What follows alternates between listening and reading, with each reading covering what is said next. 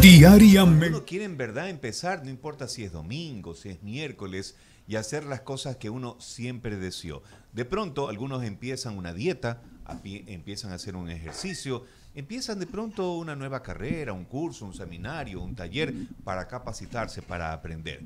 Son ya las 7 de la mañana con 36 minutos de este lunes 11 de abril, año 2022, y ya tenemos a nuestro siguiente invitado. Se trata de José Celestino Chumpi Juá. Él es abogado y por supuesto pertenece a la hermosa provincia de Morona, Santiago, partido Pachacutic, de la Comisión de Gobiernos Autónomos Descentralización. Muchas gracias por participar con nosotros en esta entrevista, en este diálogo. Señor asambleísta, ¿cómo le va? Muy buenos días. Muy buenos días, distinguido Jorge Edison los conductores de esta entrevista, Rayo Huancavilca de la provincia del Guayas, Manso Guayas, saludos cordiales en esta mañana desde mi bella provincia de Morona Santiago, la Amazonía ecuatoriana. Gracias por la entrevista, muy buenos días, a las órdenes. Un placer para nosotros también compartir este diálogo. Sin duda alguna, la situación del Consejo de la Administración eh, Legislativa sigue causando polémicas, dimes y diretes. Ahí hay una situación que en verdad eh, el, ciudadano ecuatoriano sigue pendiente. Aunque le cuento, por lo que hemos escuchado, los amigos, los familiares, la gente, le vamos tomando el pulso a lo que es justamente este sistema que está viviendo, o esta situación, esta, este contubernio, esta situación eh, que no le gusta a los ecuatorianos, polémicas al interior de la Asamblea. Uno se pregunta, uno dice, tenemos tantos problemas en el país y 137 ecuatorianos no se ponen de acuerdo. ¿Cómo ve, cómo ve usted el tema al interior de su Asamblea? Mi distinguido Jorge y el pueblo ecuatoriano, el pueblo guayaquileño, en realidad yo primera vez estoy acá eh, ocupando esta, este curul, esta dignidad de ser asambleísta de Morona Santiago y de la República del Ecuador. Cuando yo era eh, ciudadano así común, siempre pensaba de que en la asamblea se venía a trabajar en lo que determina el artículo 120, numerales 6 y 9 de la Constitución. El numeral 6 que se trata de expedir, codificar, crear, reformar, derogar leyes a favor del pueblo ecuatoriano. Y también el numeral 9 del mismo artículo 120 que se trata de fiscalización para combatir la corrupción. Al menos ese era mi criterio cuando yo no era nunca electo. Nunca, Créanme, yo he sido, nunca he sido electo ni siquiera vocal de una junta parroquial. Pero bueno, aquí en la asamblea, en la asamblea, cuando en realidad he visto otro panorama, eh, más fuerza de poder, del poder político, la mayoría, minoría, para mí, al menos como legislador, como un ciudadano, el legislador de Morona Santiago no le he visto bien, mi querido eh, Jorge, y también a todo el país, a todo el pueblo ecuatoriano. Mi interés siempre ha sido y es legislar, crear leyes a favor del país, a favor del pueblo ecuatoriano. Así como este legislador demostró creando la ley orgánica de vivienda de interés social. Esta ley de vivienda que garantizará a más de 3 millones de ecuatorianos de extrema condición de indigencia que no tienen la posibilidad de acceder a una vivienda digna, a una vivienda saludable, tal como así lo pregona el artículo 30 de la Constitución de la República. A eso nos eligieron, pero no para venir acá a hacer confrontaciones, que se destituye la presidenta, que, que, el CAL tiene que irse, etcétera. Para mí, yo comparto con el pueblo ecuatoriano, con esos ciudadanos que se preocupan mucho de las actividades de los legisladores. Totalmente 100% sintonizo y me adhiero a ese pensamiento de la ciudadanía que se preocupa muchísimo de esta mala noticia que está generándose desde la Asamblea Nacional. Eso en lo macro, los 137 si vamos a lo micro, en el caso de Pachacutic, obviamente ustedes también tienen ahí un divorcio, tienen una ala rebelde. ¿Qué pasó con esos asambleístas que de alguna manera votan en contra y a favor también en el sentido de esta comisión que podría de alguna manera evaluar a la señora Guadalupe Llori? Ahí también ustedes tienen un, un contencioso, un problema. Bueno, de los rebeldes no podría responder porque no, no, no soy chamán para adivinar por qué razón ellos toman esa decisión. Yo realmente respondo lo que es de Celestino Chumpí como legislador que está aprobando leyes y que tienen calificado algunas leyes que puedo seguir mencionando eh, en su debido momento. Bueno, pero ustedes también allá en Morona, Santiago, hacen limpias ¿No sería bueno un bañito ahí de limpieza, la ortiga, algo por el estilo? Un baño contra la sal, asambleísta. Sí. Yo, yo, creo que sí es necesario hacer una limpia porque prácticamente eh, yo al menos, eh, hasta incluso, créame así, pueblo ecuatoriano hasta me ha dado ganas de renunciar tal como lo que sucedió el colega César Ron. Ah, ya. Pero para todo hay solución. Yo he visto de esta manera. Para todo hay solución, hay que remediar, hay que recapacitar. Solo la muerte no tiene solución. En ese sentido, como legislador de la República, estoy ahí al pie de lucha para que las cosas se, superen, estas asperezas que están generándose al interior de la Asamblea Nacional. Solo con el diálogo, sentarnos, incluso con el Ejecutivo, el señor presidente debería sentarnos a convocarnos a los legisladores para sentarnos a trabajar, de, dejar punto final las confrontaciones entre el poder ejecutivo y poder legislativo, no tratarnos de ladrones, etcétera, una serie de epítetos que nos han calificativos que el señor presidente nos ha dado a nosotros, a los legisladores. Por lo menos de los 137, uno o dos debemos haber personas decentes, personas que venimos a trabajar.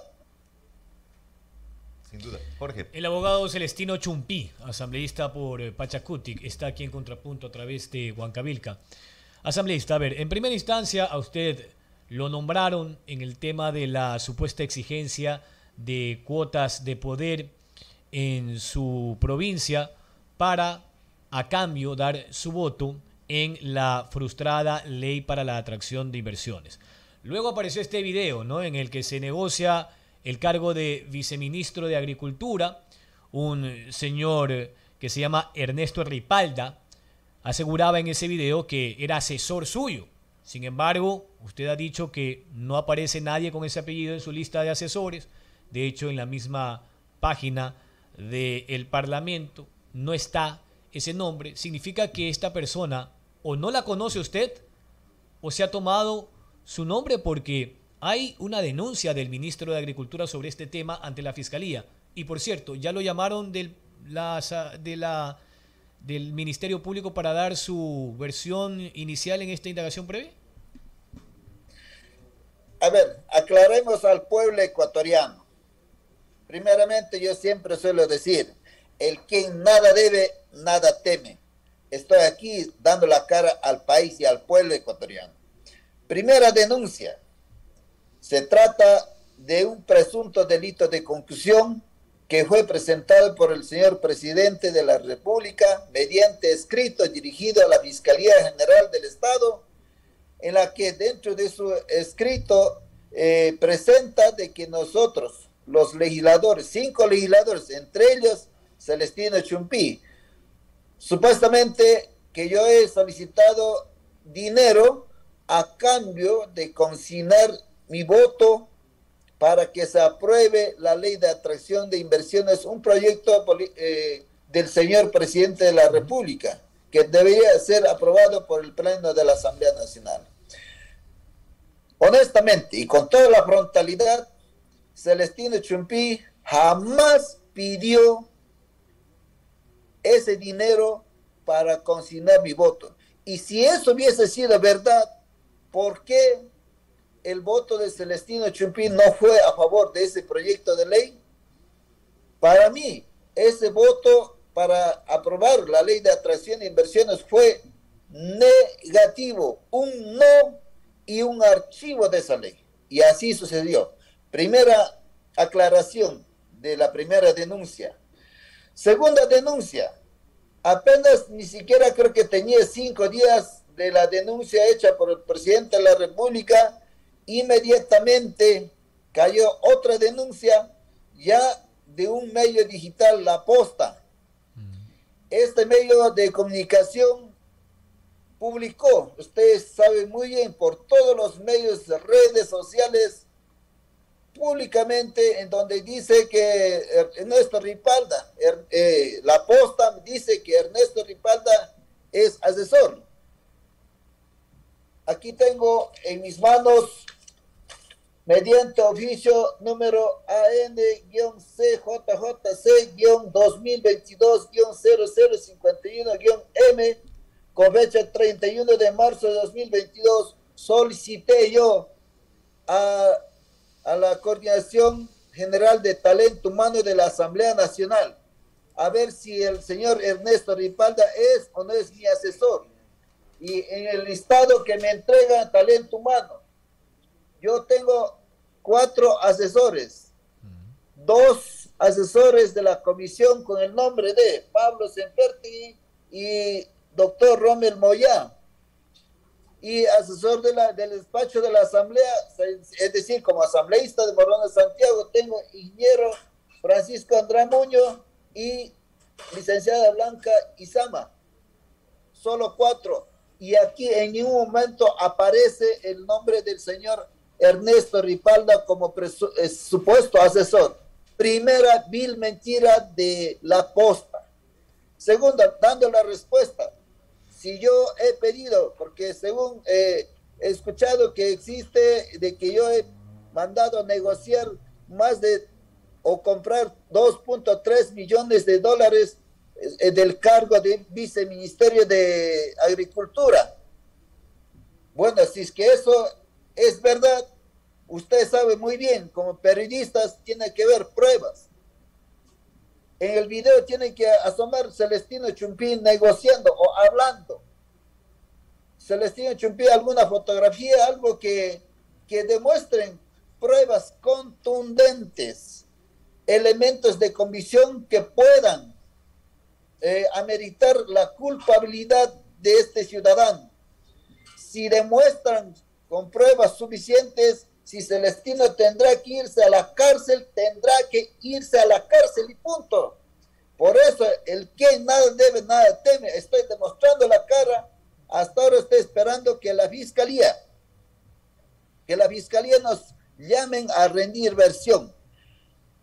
Si es verdad, en la fiscalía, durante la versión, la fiscalía determinará indicios de responsabilidad de este ciudadano y quiero decir al país, Celestino Chumpi jamás ha ocupado ni un solo cargo, ni siquiera suplente de una vocalía de la Junta Parroquial.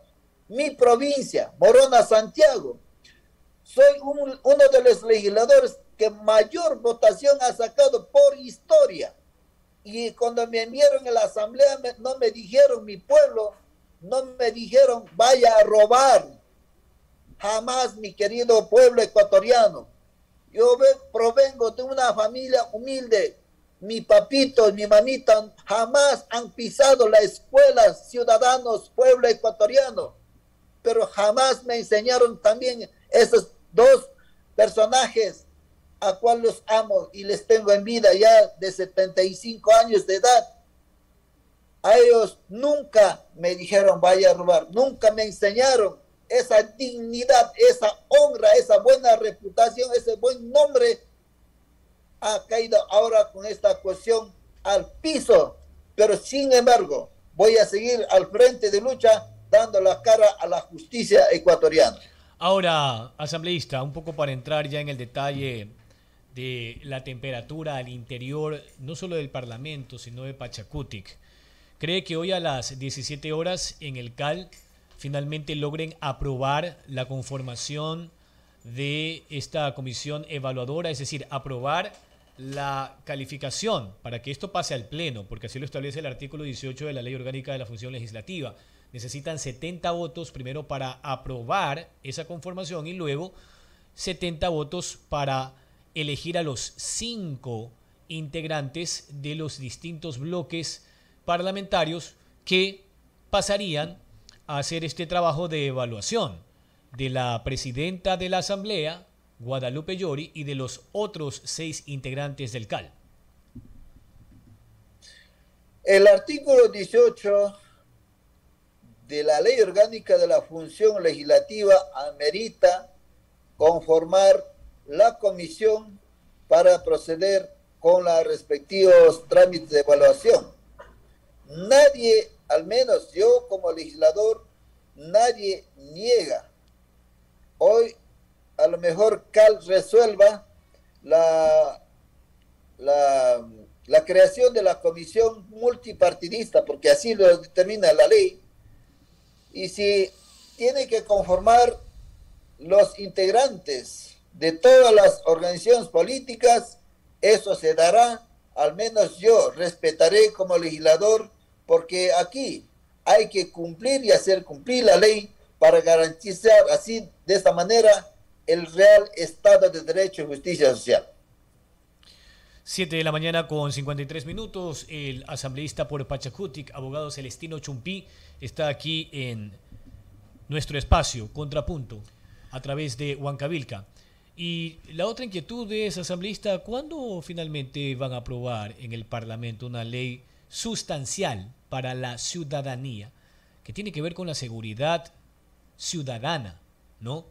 La ley para neutralizar o normar el uso progresivo de la fuerza desde los miembros de la Policía Nacional.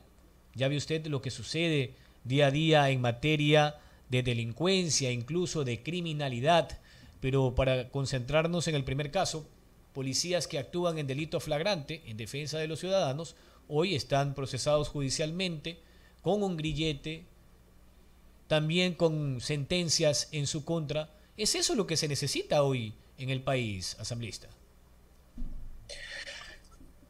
No recuerdo en qué fecha y en qué intervención. Alguna vez este legislador de la República y de Morona Santiago, en el Pleno de la Asamblea Nacional solicité, si la memoria no me engaña, me parece que es el decreto 632 del, del expresidente Rafael Correa. En ese decreto se le quitó total potestad para el uso progresivo de la fuerza de la fuerza pública. Con la creación del Ministerio de, del Interior, escúcheme bien ciudadanos, con la creación del Ministerio del Interior, la representación legal, judicial y extrajudicial de la fuerza pública de la Policía Nacional, que antes tenían esa total potestad de intervenir en los casos de violaciones de los derechos humanos, etcétera, etcétera. Ahora la policía ya no puede hacer el uso progresivo de la fuerza.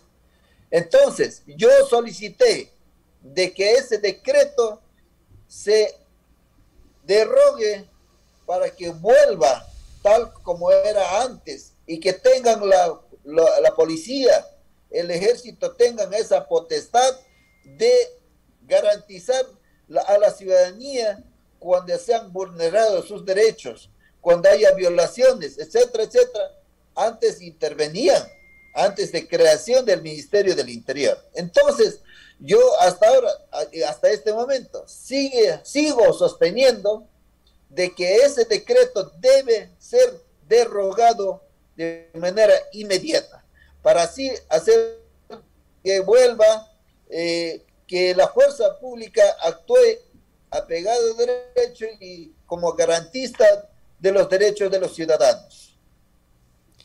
756, Edison Casañas, la del estribo. Sí, eh, y también seguramente dentro de estas alternativas que tiene el ciudadano para defenderse, hay una propuesta que se quiere de alguna manera retomar, ¿no? entiendo de que no ha perdido vigencia, pero que debe tomar un poco más de vida el tema del porte de armas para protegernos de la delincuencia. ¿Cuál es su opinión, Celestino Chumpí?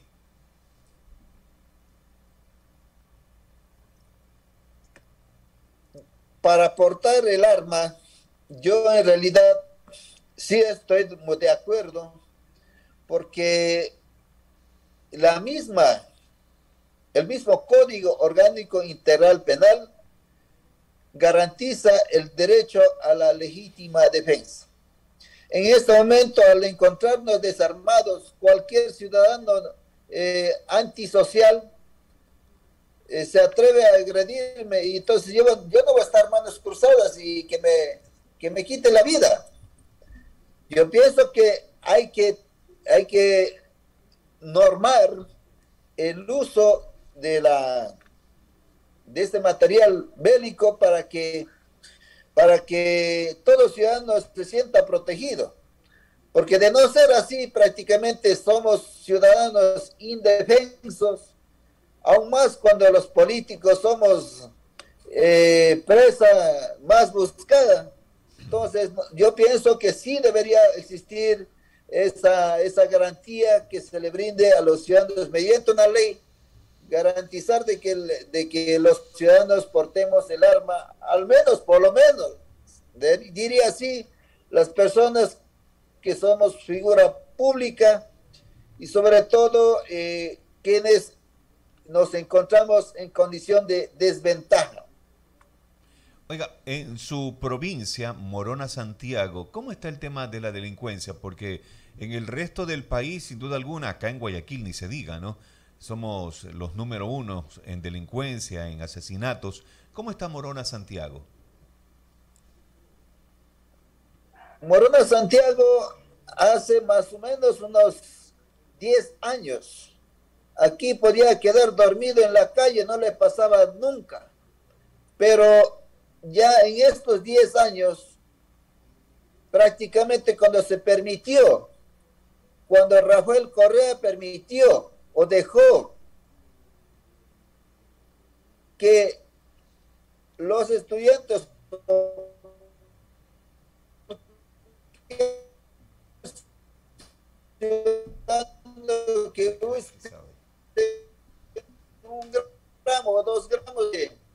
también a nosotros como legisladores nos motiva de que se debe eliminar totalmente porque el momento que ya eh, realiza el uso de cualquier sustancia estupefaciente, si ya le gustó, eso puede ir generando graves consecuencias en el futuro.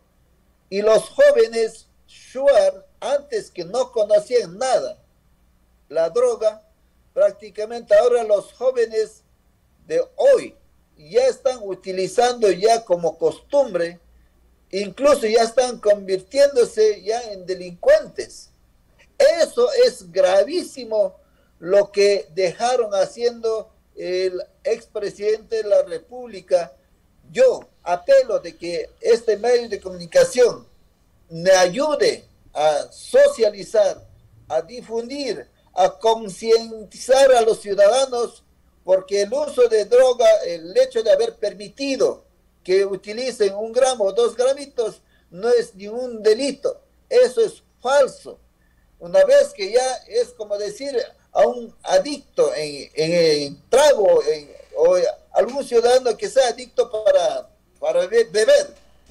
Solamente dice, tome nomás un vasito. Entonces, de un vaso en vaso le, le va gustando, al final ya termina siendo una persona adicto al trago. En ese sentido, más bien se debería de eliminar totalmente el uso de, de sustancias estupefacientes en todo el país. Eso es un llamado que yo hago a todo el pueblo ecuatoriano para que ya sea penalizado el uso, por más que sea un gramito o medio gramo de, de droga o cocaína, qué sé yo, pero debe eliminarse totalmente para que no sean utilizados especialmente por los jóvenes. Aquí en Morona, Santiago, ya, ya va agravándose cada vez más ya no hay cómo andar con total seguridad, sobre todo en la noche.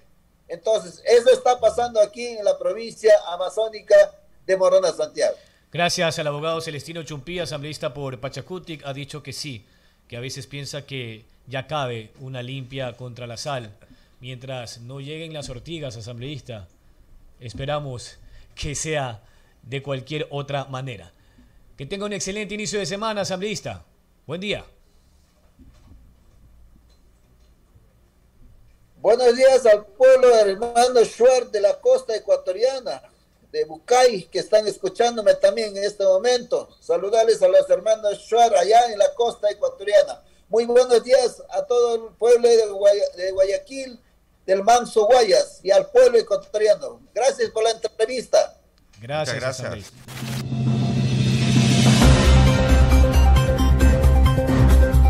Diario.